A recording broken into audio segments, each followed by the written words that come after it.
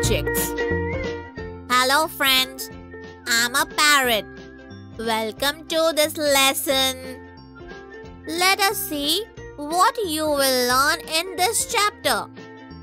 What actually are the characteristics of objects and how different groups of objects are formed based on their characteristics.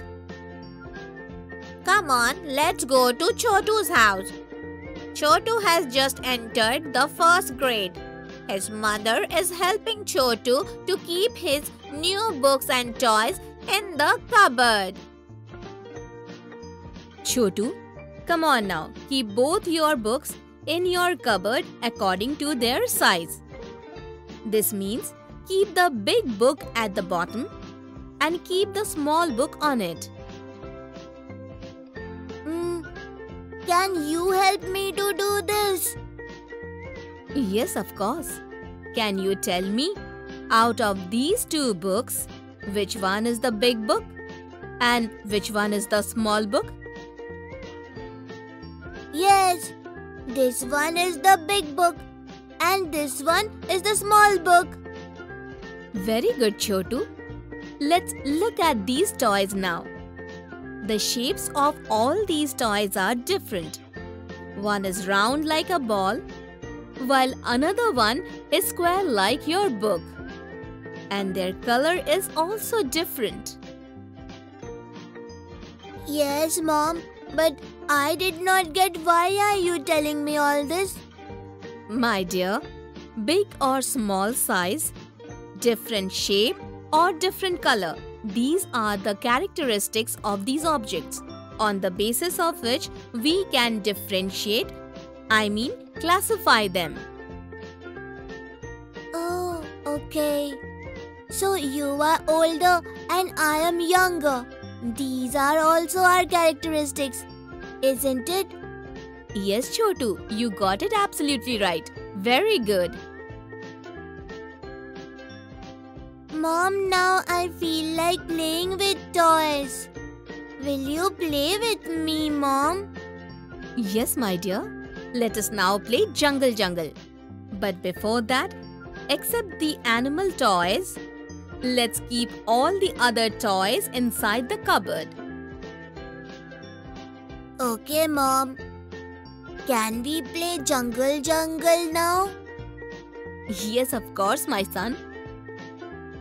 I am a lion and I am very hungry now. Should I eat this white rabbit or this black goat? Hey, this brown deer also looks delicious. Come on, Chotu, quickly hide all these animals from the lion so that he cannot eat them. But how, Mom? Keep the white rabbit along with the white object so that it is not visible to the lion. Similarly, keep the rest of the animals with objects similar to their color. Okay, Mom. I have hidden all the animals.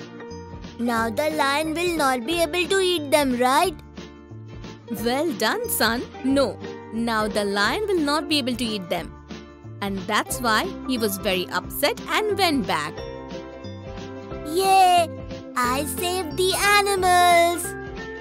Yes, son, very good.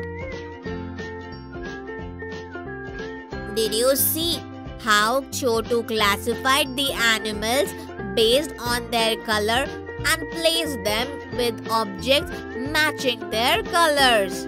So, do you know what this process of grouping objects on the basis of their characteristics is called? This process is called classification of objects.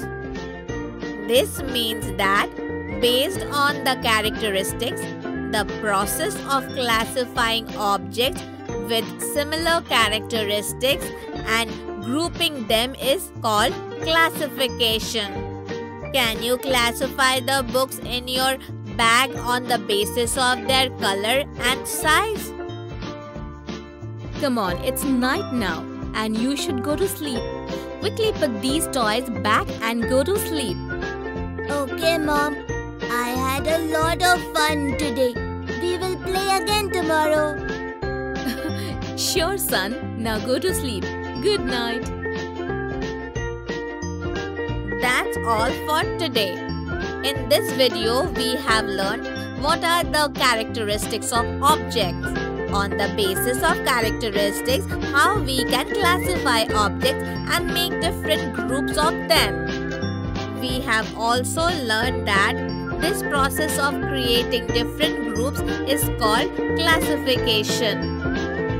In the next video, we will see some more examples of classification. Bye friends.